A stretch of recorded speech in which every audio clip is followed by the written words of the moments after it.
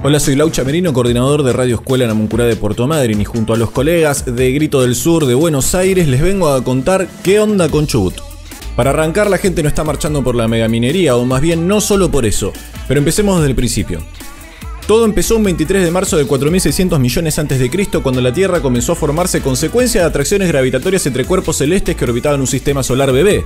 Pero los chicos de Grito del Sur me dijeron que esto no puede durar más de 8 o 10 minutos, así que vamos a pegar un pequeño saltito histórico y vamos a irnos al año 2003 después de Cristo.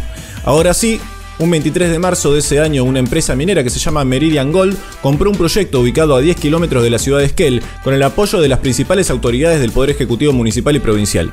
En ese contexto, los vecinos comenzaron a organizarse en asambleas y lograron hacer fuerza en las calles para pedir que se haga un plebiscito que con el 82% de los votos le dijo que no a la empresa minera, teniendo que volverse a su planeta natal, Canadá.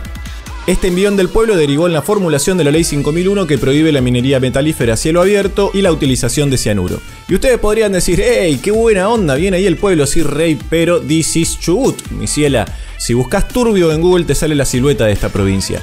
Ese día que se sancionó la ley, el lobby minero rosqueó de lo lindo y acá está la foto de Eve Sureña que pescó al diputado Muñiz mientras las empresas mineras le dictaban el articulado de la ley, que si bien prohíbe la megaminería en el artículo 2, dejó una ventanita abierta que 20 años después la abrieron desencadenando este bardo descomunal que por fin rompió el cerco mediático y ustedes, personas no chubutenses, se están pudiendo enterar por las imágenes de la brutal represión que está sucediendo en la provincia. Incluso al momento de estar grabando este video están reprimiendo en la ciudad de Treleu. Y te digo más, Eve Sureña, la fotógrafa que sacó la foto en 2003 al diputado Chantapufi este, ayer literalmente le partieron la cara. Así que solidaridad con la compañera comunicadora. Pero bien, ¿qué onda con esto? ¿Por qué tanto cuco con la megaminería? ¿Por qué está el pueblo tan de orto con esto?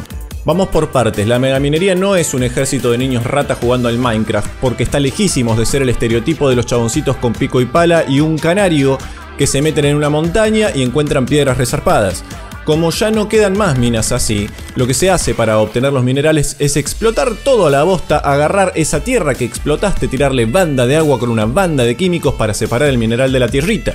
Con esa banda de aguas con bandas de químicos, se pone todo eso en una pileta que se llaman diques de cola y eventualmente se filtran o se rompen contaminando las napas y eso no tiene marcha atrás.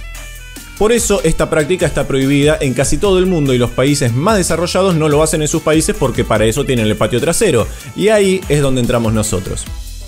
La mega minería te la venden como una panacea que te puede generar más trabajo que San Cayetano convertido en Super Saiyajin, pero según las evidencias científicas y experiencias en otras partes del mundo, no solo esta práctica te deja un pasivo ambiental impiloteable, sino que los países donde se instala, en lugar de hacer crecer el empleo y la economía, más bien hace absolutamente todo lo contrario. Básicamente equivale a pegarse un tiro en los pies.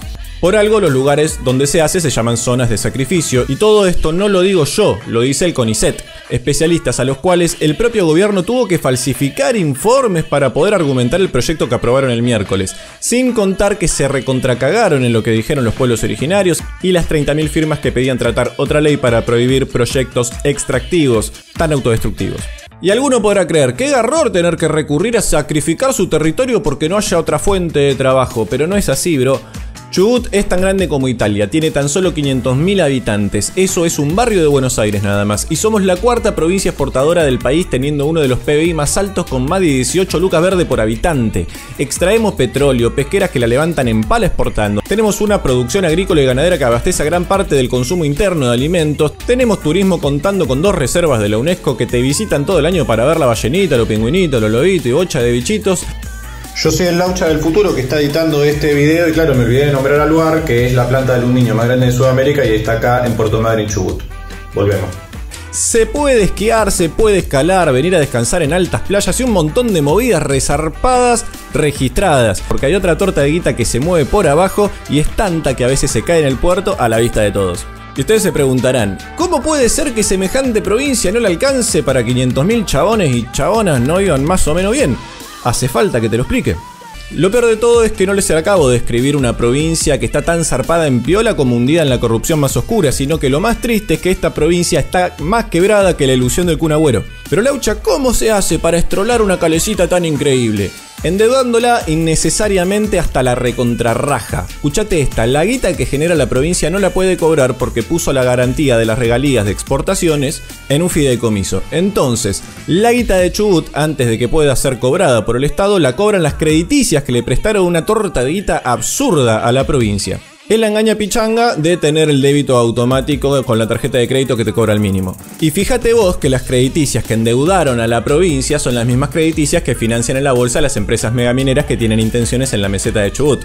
¿Mm? En consecuencia, semejante bardo hizo que en plena pandemia los hospitales no tengan insumos y tengan que hacer huelga de hambre los trabajadores para que te puedan atender en condiciones. Que no haya clases durante 4 años teniendo pibes de 10 años que todavía no hicieron primer grado y pibes de 18 que quedaron en pausa y rebotan en las universidades. Una policía que te torturó mujeres desnudándolas y obligándolas a hacer sentadillas en la calle y torturando niños en las comisarías en plena pandemia. Cerraron una escuela de gestión social con comedor para pibes donde funciona esta radio. La policía de civil cascoteó la combi de Alberto Fernández, te infiltran gente en las marchas para hacer quilombo y tildar a los manifestantes de terroristas y filtran videos de policías cantando que si te encuentran a la noche te van a hacer mierda y un sinfín de aberraciones que hacen que una fiesta entre Jason, Freddy Krueger y Scream parezca un capítulo de Peppa Pig. Pero Laucha, ¿qué onda con la justicia que no actúa de oficio? La justicia y los medios de comunicación tradicionales que esconden todo esto están más comprados que el alcohol en gel y el papel higiénico en marzo del 2020. Agarrado de los pelos el chiste, pero es jodido guionar humor a esta altura del año. La sesión en la que aprobaron la zonificación minera en realidad era una sesión especial porque justamente hace cuatro años que el Superior Tribunal de Justicia, es decir, la Corte Suprema de Chubut, tenía solo dos jueces y a veces uno solo cuando se enfermaban. Entonces, en la sesión se hizo la entrevista laboral a tres personas para que ocupen ese cargo en el que cobras medio palo por mes por el resto de tu vida sin chances de que te echen y tu tarea es tomar las decisiones más importantes que determinan si algo se puede o no se puede hacer. Metieron a tres personas que merecen un video aparte porque you know turbio. Pero bueno, la cosa es que una vez asegurándose que sus amigos ya eran los jueces más picantes de este comentillo del orto, en una cintureada digna del burrito Ortega, los diputados torcieron el reglamento, agregaron a la orden del día tratar la zonificación minera ese día y no el jueves como estaba pensado, porque ya la gente se venía preparando para marchar a Rawson y reclamar lo que hay que reclamar. Entonces así, en 15 minutos debatieron mientras se escuchaba el no es no de la gente afuera del recinto y de repente, ¡pum! Es ley la ley que nadie quiere y que hace más de 20 años el pueblo la viene combatiendo, haciendo marchas, haciendo juntas de firma, iniciativas populares, festivales y toda la movida que se te ocurran. Los diputados que votaron a favor de la zonificación y el propio gobernador ocupan la silla que ocupan porque en su campaña prometieron que no a la mega minería y en menos de un año le clavaron un puñal en la espalda a todo el pueblo que como podrán imaginar con todo lo que les conté dijeron, bueno ok, tráeme el caladrín Juan Carlos porque esto se acaba de recontrapicar. Y como les dije, Chubut es gigante y la capital no es la ciudad más poblada. Es un pueblito administrativo que queda en la loma del orto. Es como Mordor para Frodo y Sam. La gente para ir a Rawson y marchar tiene que hacer toda una recontra removida.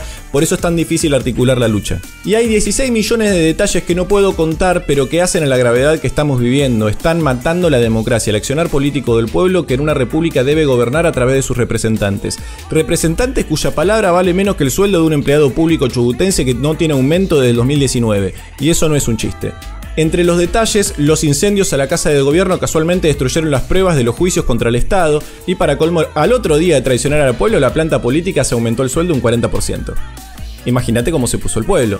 Y acá estamos, marchando, pero no por la megaminería, o más bien no solo por eso, sino por más de 20 años de manoseo, saqueo, compañeros muertos, violentados, pibes sin escuelas, sin educación, sin hospitales, mientras los mismos ocho tipos siguen haciendo de esta provincia un feudo para unos pocos.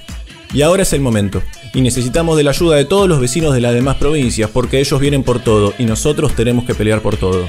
Y de esa manera entiendan que cuando el pueblo dice no, es no.